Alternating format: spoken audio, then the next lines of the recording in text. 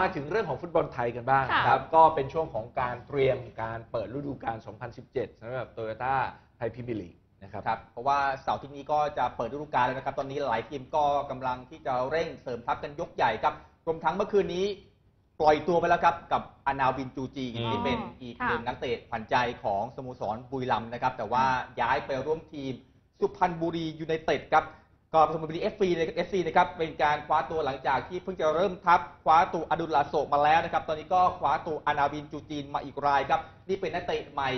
คนที่ 10 ของทีมช้างศึกยุทธหัตถีในฤดูกาลนี้เรียกได้ว่าเสริมทัพกันโละทั้งทีมเลยนะครับแล้วก็เป็นการเปิดเผยออกมาจากทางแฟนเพจของสโมสรบุรีรัมย์เมื่อคืนนี้นะครับว่าได้ปล่อยตัวอนาวินครับไปร่วมทีมสุพรรณบุรี FC เป็นที่เรียบร้อยครับ แต่ว่าจะมีการออกมาแถลงข่าวอย่างเป็นทางการ กันในช่วงวันนี้โดยคุณเนวินชิดชอบนะครับ อานาวินนั้นก็อายุ 29 ปีแล้วย้ายจากบางกอกกลาสครับมาอยู่กับบุรีรัมย์ตั้งแต่ปี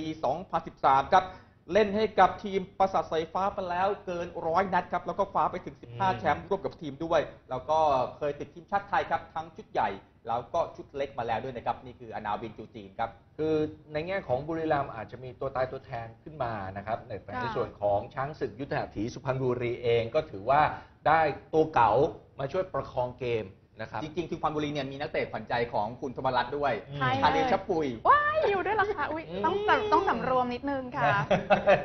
ไม่ก็ทัปนแล้วเชียร์ค่ะสิเอ